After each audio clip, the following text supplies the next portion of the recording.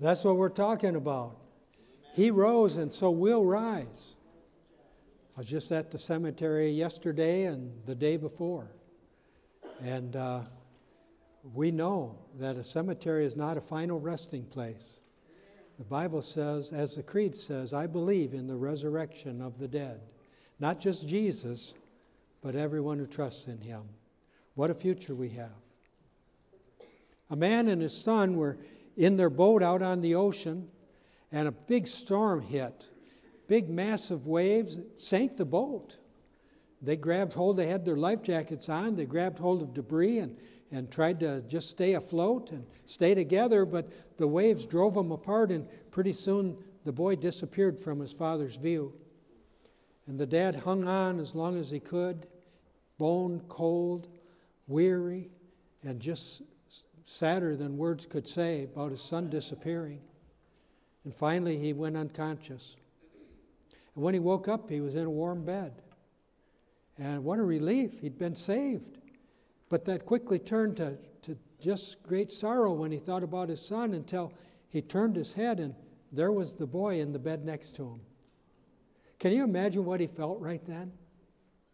That's the feeling of the resurrection. That's the feeling of life all over again. That's the feeling of another chance. That's the difference that Easter makes to everyone who trusts in Christ.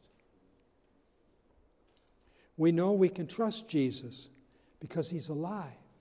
The Bible says he was shown to be the Son of God when he was raised from the dead. The most significant event in world history is the resurrection of Jesus Christ. It changed everything. That's why uh, his life defines the difference between BC and AD. The, the whole of history hinges on his life, death, and resurrection. When he conquered death, he transformed life on this planet, and particularly for everyone who puts their faith in him. We can live with confidence that Christ is always with us, and we can be certain that someday we'll be with him. Well, life can be hard. You know that. We all deal with it. Car trouble, home repairs, job struggles, health issues. Close relationships can unravel. All kinds of things happen. And we often have no idea how a bad situation ever could turn around. The Apostle Paul once dealt with so many problems of such devastating depth that he reported, he said, Our sufferings were so horrible and so unbearable that death seemed certain. In fact, we felt sure we were going to die. And yet, God's presence was with him, and God's power was working in him and around him. And Paul was later able to declare, We have set our hope on him. Our hope isn't on some circumstance changing, on something coming, on some financial turn. Our hope is in Jesus. Paul's faith was refined. He was strengthened as he kept trusting in God, who was faithful through all his trials. In the end, he realized this happened that we might not rely on ourselves, but on God who raises the dead. I know in my own experience, when I rely on myself, it's not good. I can't pull it off. I can't make it work. But if I rely on God, things are different. And Paul became even more thankful for his heavenly Father as he found renewed hope and as he was invigorated with renewed strength and moved on in victory. Think about this Easter is like the birthday of hope. Hope came alive when Jesus rose from the dead. And every year we celebrate the birthday of hope on Easter. We celebrate what Jesus birthed with his resurrection. He rose from the dead, and so the human race has proof that everything is under God's control. Everything is moving towards an exact outcome that God had in mind from the beginning. We have confidence in His ability to handle all the details, everything that matters to us today and in the days to come. We have solid evidence that we're in good hands because the Father brought his Son back to life after he was viciously murdered. Peter stood up to the Jewish authorities and said, You murdered Jesus by hanging him on a cross. But God, the God of our ancestors, brought him back to life. And again he said, You killed the author of life, but God raised him from the dead, and we are witnesses of this. Do you know that the resurrection of Jesus is the best documented event of ancient history? Over 500 witnesses saw him after he rose from the dead. Many of them saw him several times, wrote down what they had seen and heard in that generation. The Gospels go back to the first generation of Jesus. They're eyewitness accounts that have been preserved carefully. There's other collaborating evidence. Christ's resurrection has been ridiculed, but it's never been disproven. There have been several uh, scholars who set out to disprove it, and every one of them failed. And many of them were converted and became followers of Jesus. Millions of people in every generation have testified that Jesus has changed their lives. He's alive, He's working, and we celebrate. The God we worship is able to raise the dead. It's easy for Him. Nothing is hard for God. When God does something, nothing is hard. There's miracles. To God, there's no great miracles. They're all just what He does. And there are no limits to His power, there's no boundaries to His love. He has complete authority over the universe and he's totally trustworthy, and he deserves complete authority over us. The death of Jesus reveals that he's truly human. He's one of us. He died like we all will die. But his resurrection proves he's fully God. He can't stay dead, it's impossible. He's the source of life. And we're reminded of what happened. This morning we saw the pictures and the songs of what happened that first Easter. He defeated death. He didn't just survive, he reversed death. He allowed death to put its hold on him, and then he forced it to let go. He came out of the tomb as a conqueror, and he can never die again. The Bible declares we know that death no longer has any power over Christ. He died and was raised to life, never again to die. He has eternal life. He is eternal life. He gives eternal life. He passes his victory on to us. We're human, we'll die. But we belong to Jesus. And when we do, we have eternal life. And so death has no permanent hold on us. Jesus said, I am the resurrection and the life. The one who believes in me will live even if he dies. And everyone who lives and believes in me will never die. Your true self, your soul, your spirit that was made to be in harmony with God will live forever in Christ.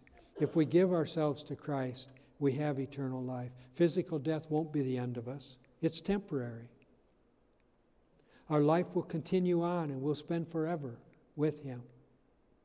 At the cemetery yesterday, I, I reminded people that in America, and most of our cemeteries, uh, the head is always to the west and the feet are to the east, so that when Jesus comes back at his second coming, he's coming to Jerusalem, that's in the east. We're, we're buried in such a way that we'll sit up to face him and go to him at his coming. It's symbolic, but it's real that it, that it will happen. He will come. We will rise. The Bible says the Spirit of God who raised Jesus from the dead lives in you. And just as God raised Christ Jesus from the dead, he will give life to your mortal bodies by the same Spirit living within you. It all depends on saying yes to Jesus. That's the most important decision you'll ever make. Jesus, will you be my Lord? Will you save me from my sins? Make sure you turn to Jesus and ask Him to forgive you. Make sure you put Him in charge of your life so that He can make you the person you were created to be. The Bible is crystal clear about how we obtain eternal life. This is the message God has given us eternal life, and this life is in His Son. He who has the Son has life. He who does not have the Son of God does not have life. I write these things to you who believe in the name of the Son of God that you may know that you have eternal life. You don't have to hope. You don't have to wait. You don't have to think. You don't have to say, I think, I'm pretty sure. You can know you have eternal life because you know Jesus Christ is my Lord. He lives in me, He guides me, He's forgiven me. The resurrection of Jesus is more than a big event in history, it's a turning point for every individual who gives themselves to Him, who realizes that He's alive and invites Him to come in. If you put your faith in Him and confess with your mouth that God has raised Him from the dead, you will be saved. Your relationship with Jesus def- defines who you are. Your relationship with Jesus determines your eternal destiny. The person you are is formed by Christ in you. The place you'll spend eternity depends on your connection with Him. If you're indifferent to Jesus, if you don't care, if you're rebellious, you won't listen, then you're separated from God. And you're in danger of that being permanent. You'll always be separated from Him until you turn to Christ. But if you belong to Him, you're part of the family of God. And you'll always be in that family. Make sure you've made an intentional choice to put Jesus on the throne of your life. Jesus is still calling out to every one of us follow me. Follow me.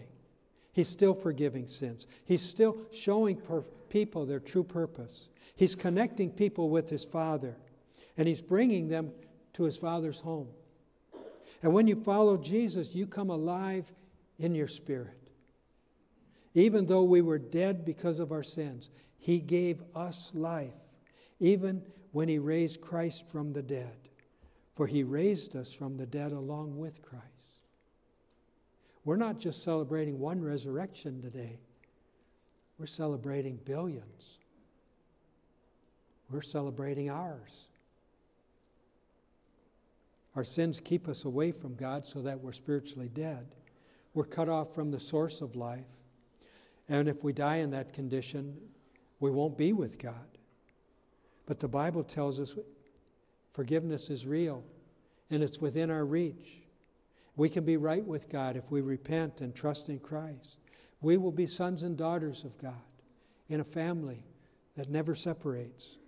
We'll belong to Him. We'll be with Him forever. Christ rose to give us that life, that new life, that eternal life. The resurrection of Jesus has been celebrated every spring at this time of the year, every spring since it happened that day, every year. It's being celebrated in every nation on earth today. This is the holiday Christians look forward to. This is the day when everything changed. And we're grateful that God provided a way back to Him through Christ. The Bible says we were buried in baptism just as Christ was buried in death. As Christ was raised from the dead by the great power of God, so we will have new life also. When we put someone in the water of baptism, we bury them in the water. It's a place of death. They don't want to be there very long. So a lot of times people ask me, How long are you going to keep me under?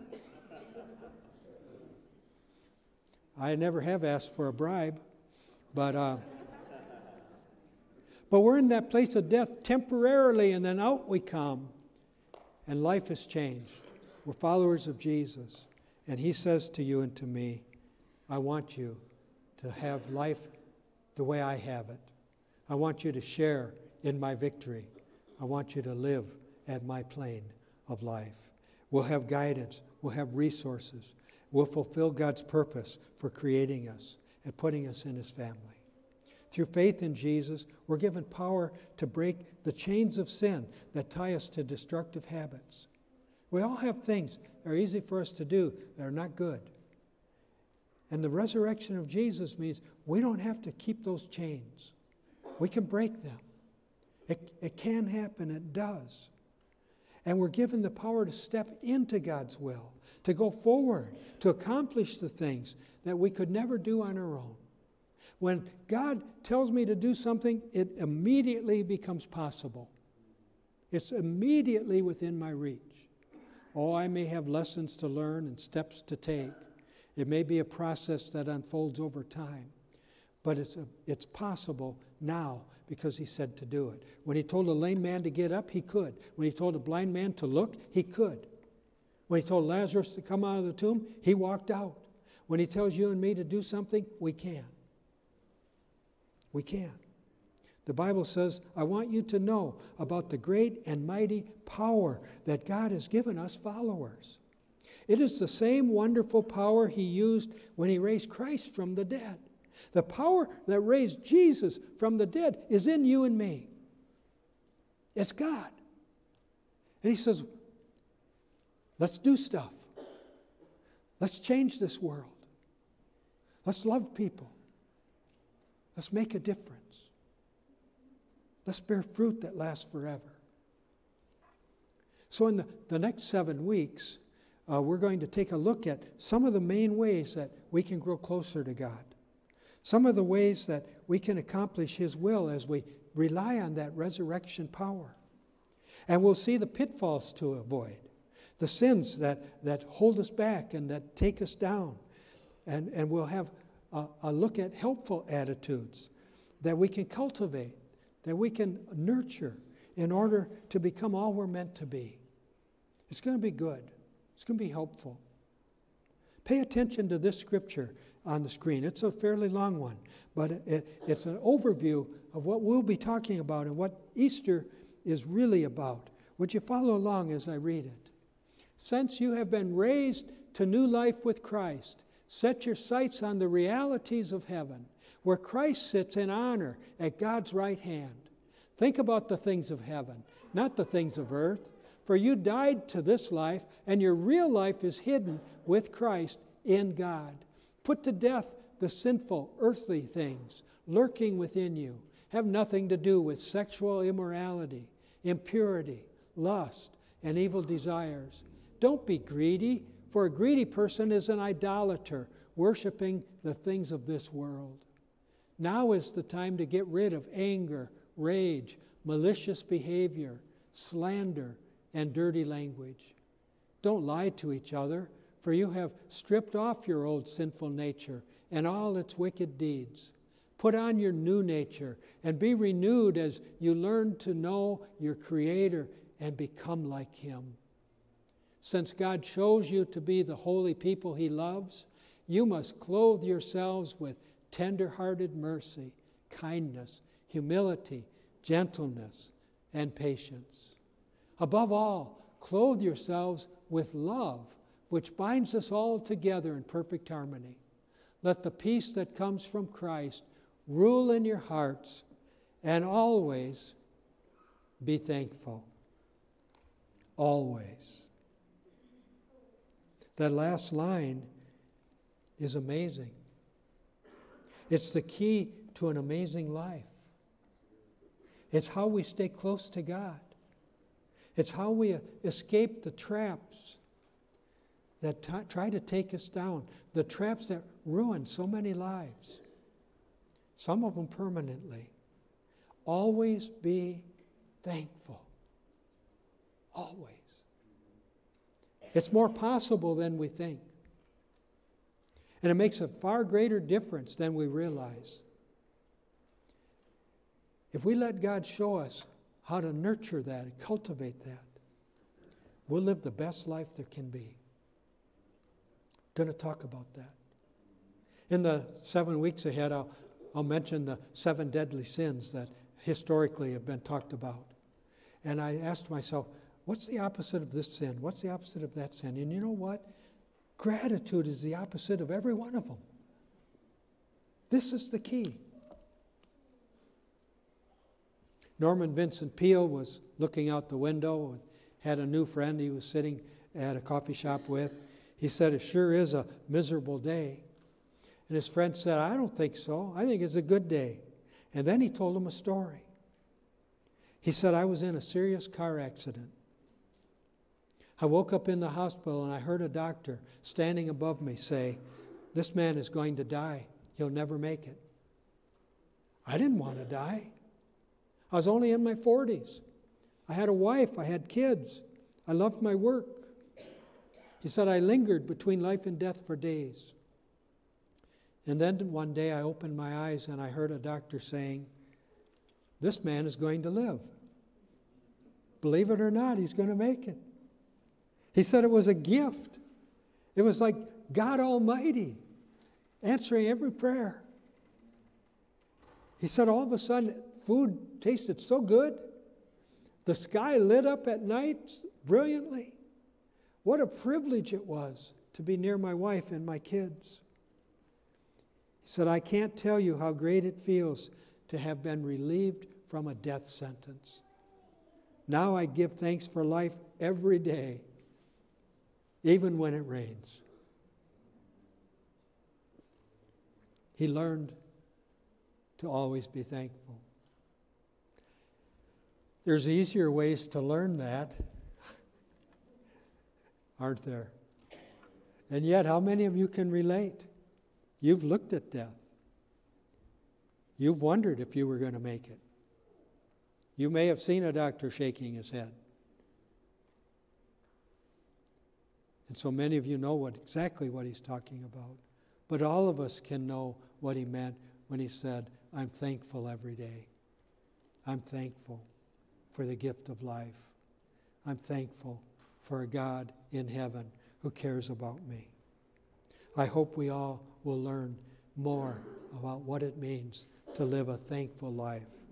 When we remember the difference Jesus made by coming back from the grave, we have a reason to be grateful every day, all day long. I say let's do it. Anybody agree? Let's do it. Amen. We're going to sing.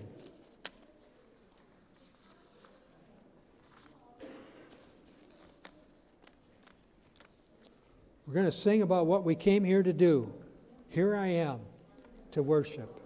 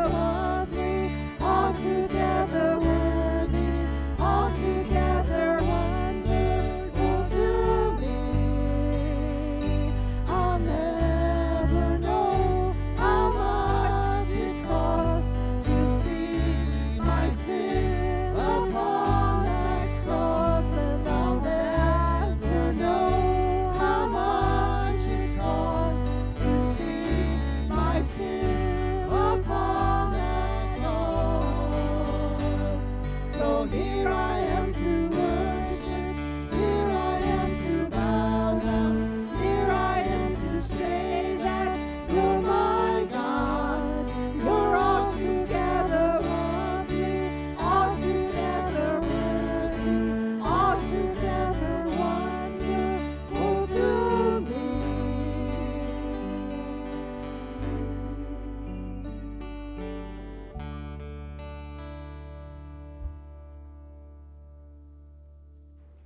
You're my God.